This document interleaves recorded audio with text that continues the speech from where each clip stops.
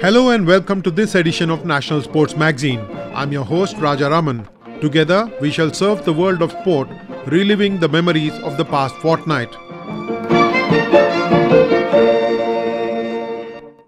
The skirmishes on the cricket pitch paled in comparison to what was happening up north. It was not easy for the Indian cricket fans away from the Rajiv Gandhi International Stadium in Hyderabad to focus on the second 2020 match against Australia on Wednesday, when the nation united in praying for Wing Commander Abhinandan Varthaman's safety. Yet, the Indian team trained its collective mind on the present to try and make a match of it. The inexperienced bowling forcing the game to the final over after Virat Kohli and Mahendra Singh Dhoni's 100 run stand in just 50 deliveries propelled the team to 190 for 4. India lost the series 0 2, but would have gained some clarity with a few things ahead of the ICC Cricket World Cup. In the era of strong social media influences on young minds, it would have been hard for the players to be not affected by the enormous tension hovering over all of India. That they went about their task showed that they could egg themselves on to do what they could do under their control, even as they joined the nation in prayer. One of the immediate takeaways from Wednesday's game was the evidence presented to the skipper that it is important for India to have experience and depth in the middle order. India would want to see the Kohli Dhoni combination being available in the latter half of each of its innings in the World Cup. And the best way to ensure that is for Kohli to bat lower than at the number 3 slot that he currently occupies. When Virat Kohli is herding the Indian batting, anything is possible. Such reassurance was needed at the halfway stage of the innings when India was just 73 for 2, opener Shikhar Dhawan having lost his way and fallen for a sluggish 14 of 24 balls. And in the next over, left-handed Rishabh Pant was pressured into playing a big shot and presented Jhye Richardson a chance to take a magnificent catch. Playing what could have been his last 2020 game in India colours, Mahendra Singh Dhoni unfurled a display that was reminiscent of the batting on which his image was built. It came at the right moment for India in the game in Hyderabad. The team would be wishing that he can retain this touch through the One Day International Series and the World Cup in England. The other heartening aspect of India's batting was opener KL Rahul's 47 of just 26 balls. Coming on the heels of his half century that he made in the opening game in Vishakhapatnam, it laid a good platform for the side to post a big total. His runs augur well considering that Shikhar Dhawan was unable to match his stroke play on Wednesday and Rohit Sharma had not lasted long in Vishakhapatnam. The two knocks would have gone a long way in convincing the selectors to hand Rahul a ticket to the team's flight to the World Cup. For him to show the confidence at the crease after a none too memorable time in the tests in Australia would have been heartwarming for the side. It can only be hoped that India would have learnt that knee-jerk responses to a bowler's failure in just one T20 game is not always guaranteed to produce results. Jettisoning paceman Umesh Yadav after he conceded 14 runs in the final over of the game in Vishakhapatnam was quite unfair, not only to him but also to the side that missed his pace in Hyderabad. Siddharth Kaul, who was given the task of bowling the final over with Australia needing 9 runs to win, was up against a Glenn Maxwell on a rampage and paid the price for errors in length. He may get a couple of one day internationals to try and nudge ahead of others vying for what seems like the final berth in the Indian team. For the second game in a row, India turned to Jasprit Bumrah in the penultimate over to try and change the course of the game. Yet he succeeded in bowling a memorable over, this time to well set batsmen. He would have liked to pick some wickets on the flat deck in Hyderabad, but he did not leave anyone in doubt that he is India's best bet with a cricket ball. Let's listen in to skipper Virat Kohli. Australia outplayed us in both games. I think they were more clinical with the bat, with the ball, and in the field as well. So they deserved to win thoroughly. Um, we made a few mistakes in the first game, but I think we put up a, a, decent enough show. I think 190 is a competitive total on any ground. But when that much due on the ground, you have an innings like uh, Maxi played, they deserve to be on the winning side. We're not too bothered by a uh, few T20 games before the World Cup. I think every team's just fine tune what they want to, and um, we just wanted to try a few things in, in these couple of games and in the next five games as well. So I think every team is taking taking every series like that. But having said that, you have to try and win uh, every series that you play as a team. And uh, when another team plays better than you, especially in a shorter format, it's it's very difficult to sort of analyze that because T20 games can go anywhere. In the earlier game, the pitch in Rajshekhar Reddy Stadium in Vishakhapatnam offered the bowlers some help, the batsmen some challenge, and the fans their money's worth. Australia's resilient tailenders ensured that the team would sneak home by three wickets in a low scoring game. Pat Cummins and Jhye Richardson played smart cricket to score 14 runs of Umesh Yadav's final over. It was not the typical flat deck on which bowlers have their teeth drawn. It was the sort on which batsmen who got their eye in needed to tell themselves to not throw their wickets away and be careful with shot selection. And each time that happened in either innings, the fortunes of the game fluttered like flags in the strong coastal wind that blew in from the Bay of Bengal. India's lower half lacked a game plan based on running singles and twos, while Australia's tail managed to see the side home with hard work between the wickets after well set batsmen Glenn Maxwell and D'Arcy Short fell within two overs of one another. Let's listen in to what Aaron Finch, the Australian captain, had to say at the end of the T20 International Series. I think any time that you can win any kind of series against India in India, it's a, it's a pretty special moment and unbelievable performance by Max. He was a, an outstanding batting display, but I think Adam Zampa was, was a huge difference in the game. To go none for 23 on a wicket that didn't really suit too much uh, spin was a hell of an effort. It was a great performance by him and, and the team. That, that batting group, obviously led by Maxi, was, was pretty good. We've been on a, on a journey for the last 10, uh, 11 months um, building up towards towards the World Cup, and there has been a little bit of pain during that period. And, and I think the the great thing about it is we've kept improving the whole time, and we've taken our fair share of knocks along the way. But as long as we keep improving and, and peak at the right time, that's all you can ask. The Indian women's cricket team beat England 2 1 in a one day international series. It won the first game on February 22nd by 66 runs and followed it up with a 7 wicket victory in the second game on February 25. England gained a consolation 3 wicket win on February 28th. Mithali Raj and Jemimah Rodrigues powered India to 202 or 49.4 overs in the first game. Ekta Bisht 4 for 25 kept England down to 136 in 41 overs. Despite a well compiled 85 by Sciver, England posted just 161 in 43.3 overs in the second match. Jhulan Goswami and Shikha Pandey claimed 4 wickets each. Smriti Mandhana made 63 and Mithali Raj made 47 to guide India to win with 8.5 overs to spare. Batting first in the third match on February 28th, India posted the biggest total of the series, 205 for 8 in 50 overs. Smriti Mandhana top scored with 66 and shared a 129 run second wicket stand with Poonam Raut, who made 56. But had it not been for Shikha Pandey's 26 and Deepti Sharma's 27 not out, India would not have got to the 200 run mark. A half century by Wyatt, 46 runs by Knight, and Elvis's sensible knock of 30 plus in the end saw England gain a consolation victory.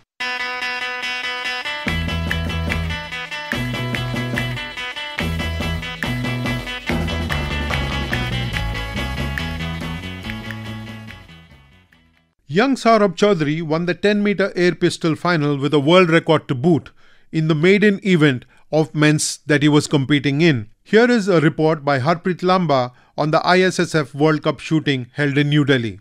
It was a mixed bag for Indian shooters at the ISSF World Cup held from February 23rd to 28th, where they picked up three gold medals and one Olympic quota at the Karni Singh shooting range near Delhi.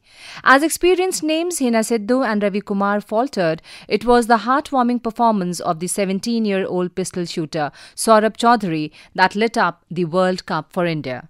Apurvi Chandela won the women's 10 meter air rifle gold on the opening day of the tournament, setting up a new world record. जब मैं shot fire कर रही थी तब मेरा यही M था कि मतलब अपनी टेक्निक फॉलो करूँ सारा ध्यान मेरा टेक्निक पे रहे और वो मैं कर पाई और बहुत खुशी है कि वो वर्ल्ड रिकॉर्ड बन गया अच्छा एक्सपीरियंस था मेरे लिए कि फाइनल्स में भी इन सब के साथ कम्पीट करना चाइना कोरिया सारी स्ट्रॉन्ग कंट्रीज़ हैं और डेफिनेटली अब आने वाले टाइम में मुझे इससे काफ़ी हौसला मिलेगा But since Chandela had already secured a quota berth for India in this event last year, the wait for an Olympic quota from the home World Cup continued. Saurabh Chaudhary, however, made sure that movement was not far. The teenager showed Zen like calm and precise shooting skills as he shattered the world record in the 10 meter air pistol category. Chaudhary shot a commendable 245 in the final, getting past the 243.6 that belonged to former European champion Oleh Omelchuk of Ukraine. His gold medal feat handed India a spot in the event at the 2020 Tokyo Olympics. पहला world cup था मेरा senior का? बहुत ही खुशी की बात है। ऐसा नहीं लग रहा था कि मैं कहीं बाहर कंपटीशन कर रहा हूँ। ऐसा लगता था कि अपने घर में कंपटीशन कर रहा हूँ। तो बहुत ही अच्छा लगा। मुझे पता था कि लीड है, काफ़ी लीड है। लेकिन मैंने उसको कोई ध्यान नहीं दिया कि जैसे मैं शुरू से करता आ रहा है, मैंने सिर्फ़ वैसे ही किया। मुझे सिर्फ़ ये था कि मुझे यहाँ पर अपना अभी बेस्ट करना है। मैं रिकॉर्ड के बारे में सोचता नहीं हूँ। अगर जो रिकॉर्ड के बारे में सोचता तो शायद ये रिकॉर्ड नहीं बनता। मैं सिर्फ़ ऐसे ही खेलता हूँ नॉर्मली अपना प्रैक्टिस की तरह। India were unable to make the most of the home advantage, failing to add any more quota birds. But one thing that stood out for them was the rise and promise shown by the young generation. Even as many teams from other countries fielded shooters in their mid 20s, India's hopes rested on Anish Bhanwala, Manu Bhaker, Chaudhary, Adarsh Singh, and Elavenil Valarivan. If shooting is known as an old man's sport, this young bunch is surely and slowly breaking that myth. Although was not rosy for the hosts as the tournament progressed in a sport that requires competitors to stay calm and show little or no emotion, the presence of cheerful home supporters seemed to unnerve some of them. The women's 10 meter air pistol event was one such example. Former world number 1 Heena Sidhu and uh, 2018 Commonwealth Games gold medalist Manu Bhaker shot some surprisingly low scores, some in the range of even eights and exited at the qualification stage itself. The women's 10 meter air pistol has been one of India's strongest category in the last few years, but Sidhu and Bhaker's meltdown left many surprised. While Sidhu acknowledged that she was uh, overthinking and took too much pressure, the young Bhaker was left in tears. The men's 10 meter air rifle event too was a disappointment, with 26 year old Ravi Kumar finishing 14th. India, however, ended the tournament on a high. Chaudhary and Bhaker provided the perfect finishing touch on the final day of the competition, winning the gold in the 10 meter air pistol mixed team event. There were no quota places on offer in this event, but the youngsters showed there is no dearth of talent or promise in the country. Indian shooters will now look ahead to the upcoming World Cups to secure more quota berths.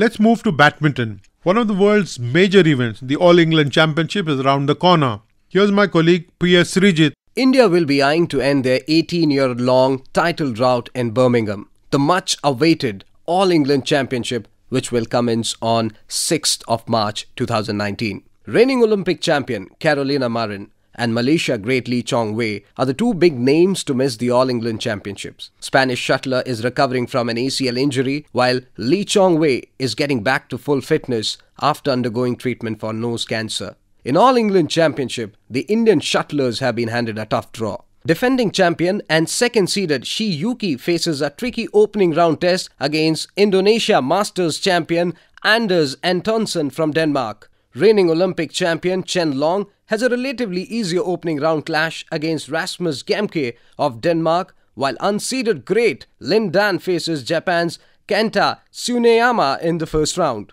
So after Prakash Padukone and Pullela Gopichand, will we see a new Indian name with the title? Only time will tell. How Indians would fare in the upcoming All England Championship, I spoke to former Asian champion Dinesh Khanna. We all know that 1980 Prakash Padukone won the championship, won the tournament. 2001 Pullela Gopichand and 2015 Saina Nehwal, she was runners up. And from then on, we couldn't really think about any player. So do you think that this time around we have uh, chances? Well, yes, chances uh, have always been there. Our players have been doing so well. In fact, uh, in the year uh, 2017, K. Srikanth had won four Super Series tournaments, which was a great feat. Unfortunately, he was not able to do very well in the All England Championship. So certainly he had a chance that he could, uh, well, repeat the performance uh, of our former greats uh, Prakash Padukone and Pullela Gopichand. And as far as Saina Nehwal is concerned, I think she's the Indian who came nearest to winning the in the women's the All England title in 2015 when she lost to Carolina Marin after having won the first game and uh, having a handy lead in the second. The competition every year is getting tougher and tougher. So this year, of course, uh, we'll be having again uh, a strong team. We have uh, in women's uh, PV Sindhu and Saina Nehwal who will be leading the challenge. And in men, we have uh, K. Srikanth, we have uh, Sameer Verma, and we have H.S. Prannoy, uh, Sai Praneeth. So I think uh, we have fairly good uh, challenge, but uh, also the competition is going to be tough. Absolutely. And my next question would be: You have Tai Tzu Ying was double defending champion 2017 2018 and talking about uh, men's category 2017 lee chong-wei well uh, fortunately is not around this time. 2018 shi yuqi so things won't be that easy for the indian players. Obviously never. All england things are never easy because uh, this is most prestigious tournament. It has a long history. It started in 1899 and uh, of course that time it was only paired event from 1900 uh, we had uh, you know all the five events were played there. So you can imagine that this tournament has been going on for over a century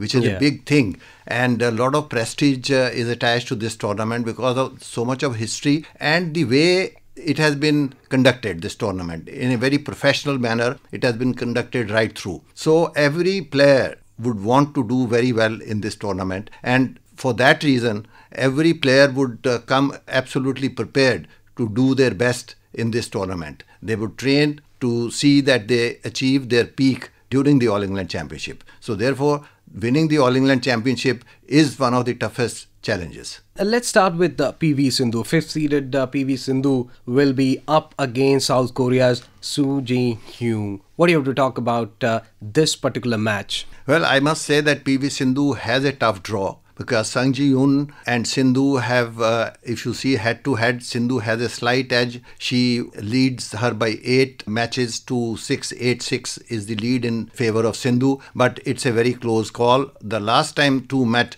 was in the Hong Kong Open uh, a couple of months back, uh, where uh, in a very closely contested match, uh, Sung Ji Hyun got the better of uh, PV Sindhu. Let's hope that Sindhu can reverse that result and uh, do one better in uh, this tournament. And uh, after that, uh, if she goes up further, she will be up against uh, Chen Yu Fei of uh, China, who's an up and coming player and a very, very uh, good player. She's got a very attacking game, moves very fast on the court, and Sindhu will really be have to be at her best to go past her. There are at least uh, 12 to 15 players who will be playing in the All England who are capable of upsetting each other. So the rankings and the seedings really go for a toss at Absolutely. that point of time. But let's hope that Sindhu, of course, has done extremely well, as uh, we have seen in, in the last tournament of uh, 2018 when she won the World Series Finals final. And she's the only Indian who has done it uh, till date. And so, also last year she reached till uh, the semi final uh,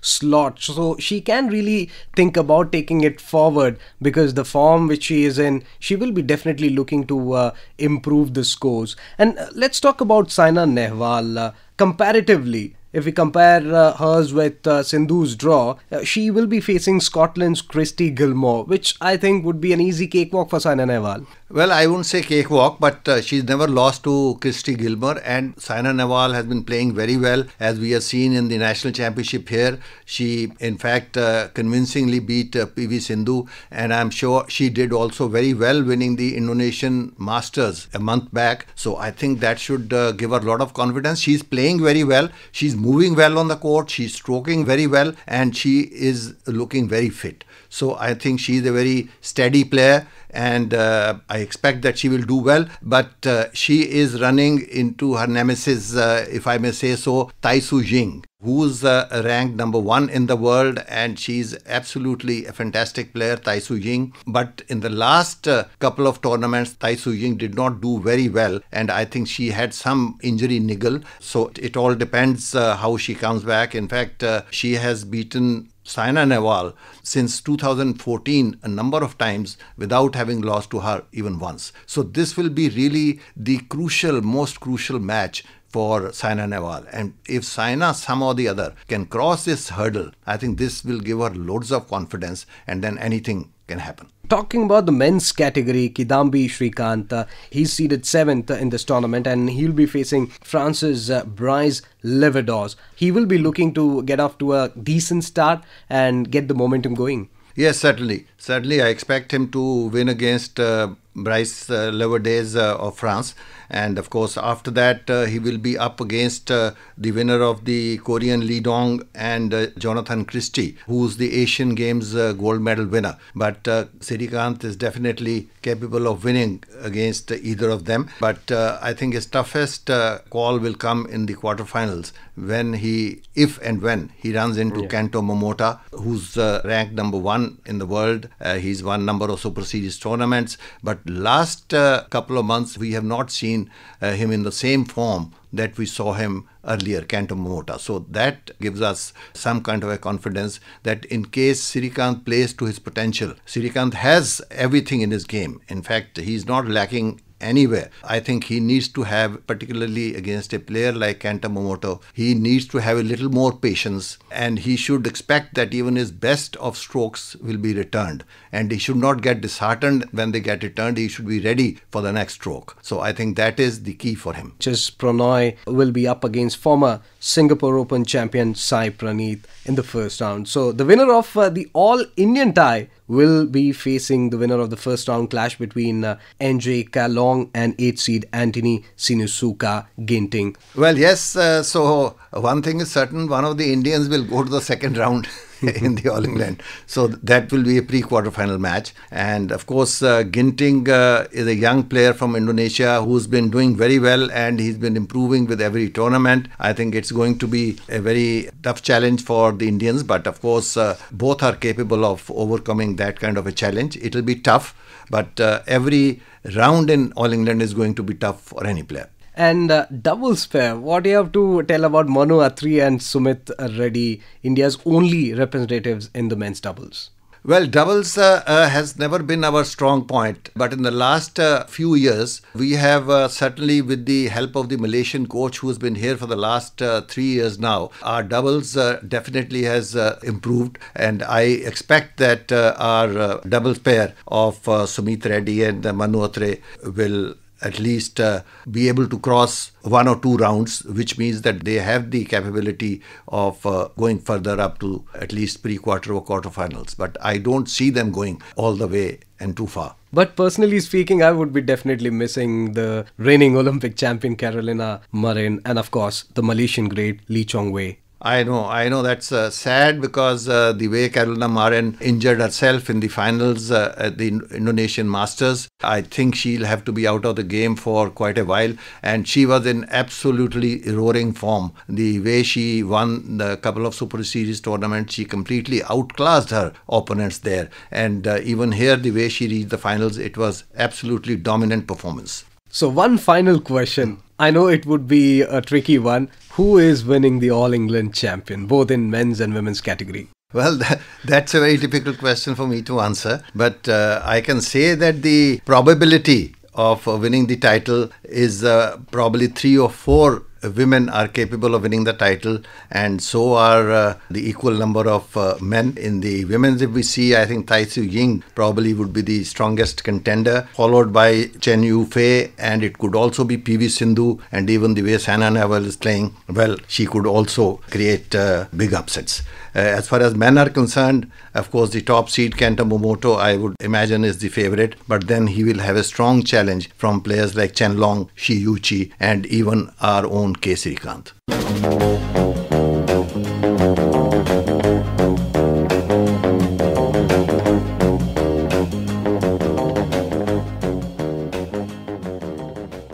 There was more good news coming in from the boxing front. Let's see what's happened there.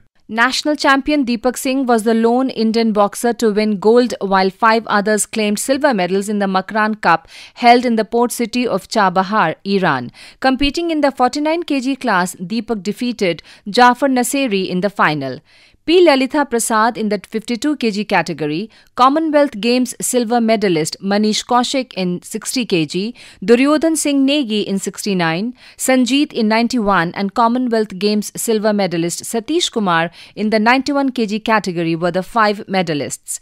Earlier Rohit uh, Tokas in 64 and Manjeet Singh Panghal in 75 kg category lost in the semi-finals to sign off with bronze medals. Chief Boxing Coach C. A. Kuttappa this is our uh, national champion team. and this is not our best team. And uh, they did a good uh, job. They really work hard over there, and they got medal also. They are new, new boys. They are playing first time in the international tournament also, uh, like in Manjit Panghal, Deepak, in the senior session. So they did well, and uh, I think uh, they will qualify for the Olympics also.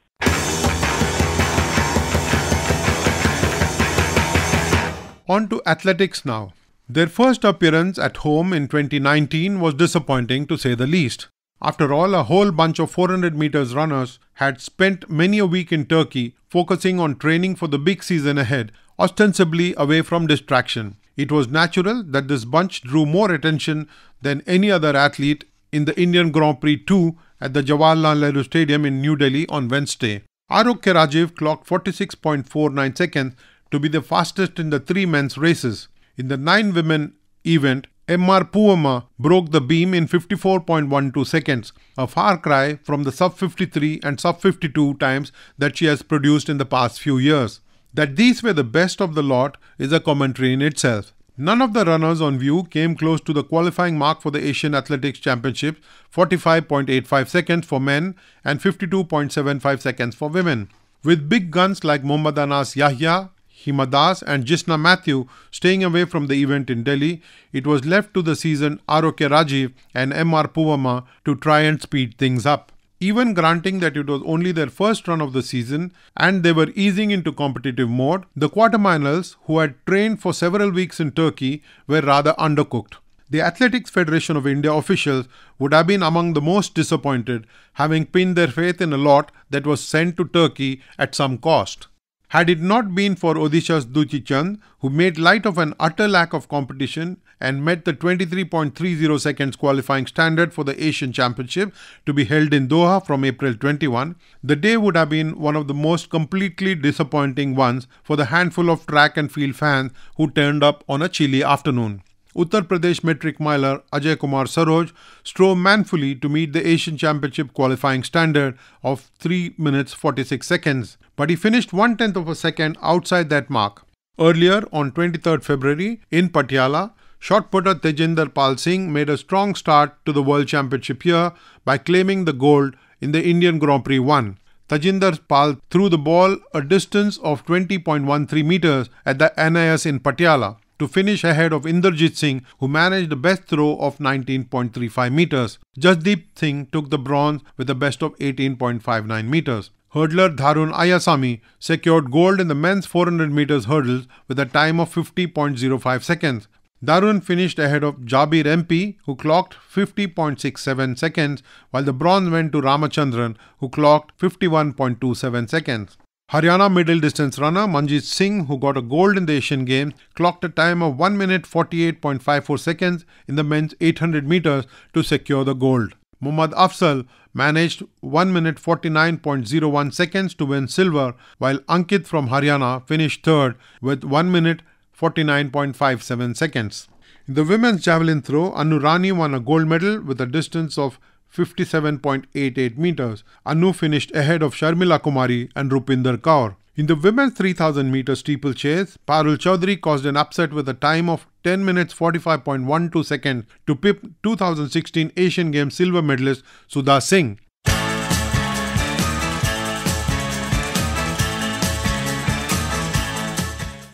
There was an interesting innovation that the Volleyball Federation of India tried.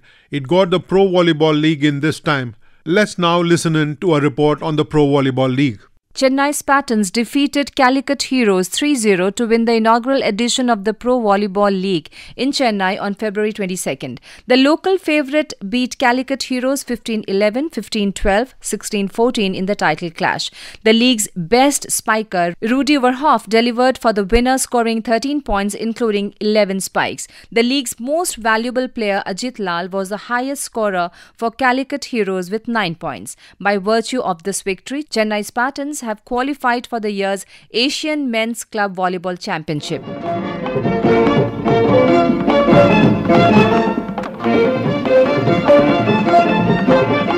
And with that, we come to the end of this edition of National Sports Magazine. Along with my colleagues Harpreet Lamba and P.S. Sreejeet, as well as producers Sudhir Rajoria and Shahnawaz Khan, this is Rajaraman thanking you for listening in.